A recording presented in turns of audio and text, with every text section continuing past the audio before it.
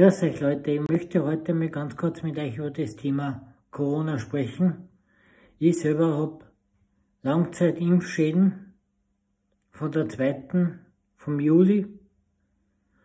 Das heißt, ich spüre meine Körpertemperatur nicht mehr und muss zweimal am Tag Fieber messen, um festzustellen, ob ich in die Arbeit gehen darf. Einmal in der Früh, eben wegen der Temperatur, und auf die Nacht vom Schlafen gehen, um auf Nummer sicher zu gehen. Zum Thema Impfen. Ich verstehe beide Seiten. Die nicht geimpften und die geimpften.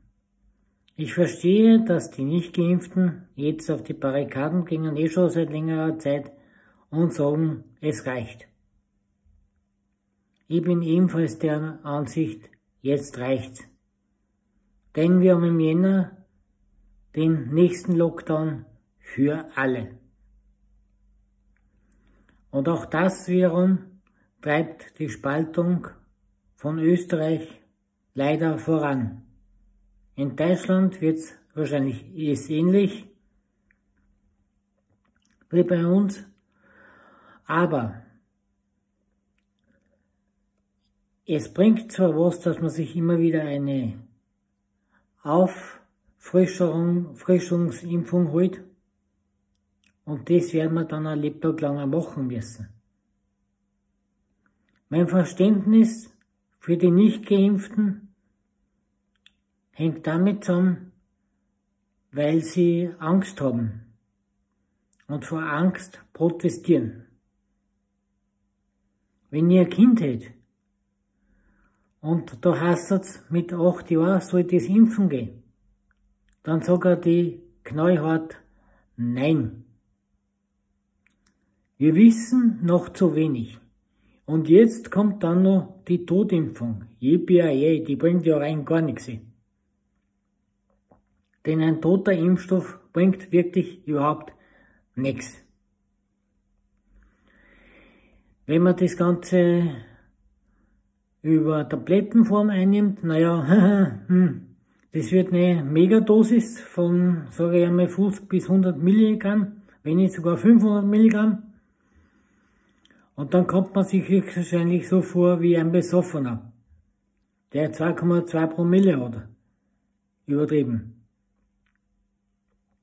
Die Geimpften dürfen jetzt wieder an dem normalen Leben, unter Anführungszeichen mit Einschränkungen, ich sehe ganz klar, der Fetzen vom Gesicht, teilnehmen. Die Nicht-Geimpften, die nicht. Spaltung perfekt. Und meiner Ansicht nach bringt es nichts. Ich verstehe, dass die nicht geimpften demonstrieren wollen, dass die ihre Meinung äußern, weil es nicht mehr anders geht. Es geht ja nicht mehr anders. Es geht nicht mehr. Sie wissen sich nicht mehr zum Helfen. Nicht geimpfte sind Bürger zweiter Klasse und das klingt jetzt hart, aber es ist so. Als, als Geimpfter darf man alles machen. Soweit halt der Rahmen ist.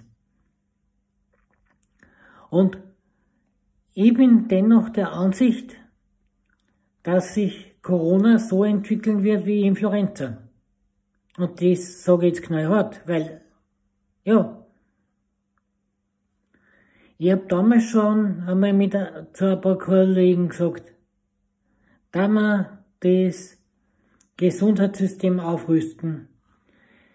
Ich habe im Juli habe ich schon zu den Kollegen gesagt, wir werden einen weiteren Lockdown gehen. Niemand hat mir's glaubt. Jetzt haben wir ihn gehabt.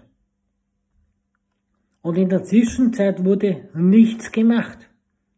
Die Intensivbetten wurden nicht aufgestockt. Die Leute, die jetzt eine Notoperation haben, die kommen dran. Aber ein Mensch mit, mit einem Blinddarm, oder gar eine Frau mit Rotlauf. Die nicht. Die wird heimgeschickt. Und das ist eine Sache, die mich innerlich extrem wütend macht. Krankenhäuser sind nicht nur für Corona-Patienten da, sondern sollten auch für, für normale Patienten da sein, die nicht nur psychisch krank sind, sondern auch eine normale Untersuchung brauchen, RSCPL haben oder was weiß ich was haben. Denn Mir kommt ein Krankenhaus jetzt schon so vor, als ob das nur mehr für Corona da ist. Und das kann es nicht sein. In Zukunft wird es wahrscheinlich auch so sein, dass manche Leute Blutvergiftung kriegen wegen diesem, wegen diesem Rotlauf. Oder was weiß ich was. Oder dass ein Mensch stirbt an einem Leistenbruch. Weil Leistenbruch ist ja keine Notoperation. Oder dass man heimgeschickt wird, wenn man Krebs hat im ersten Stadium. Yippie. Entschuldigung, dass ich mich da jetzt so aufrege, aber das ist meine Meinung. Ich wünsche euch nur einen schönen Tag oder Abend, je nachdem, was euch das Video anschaut.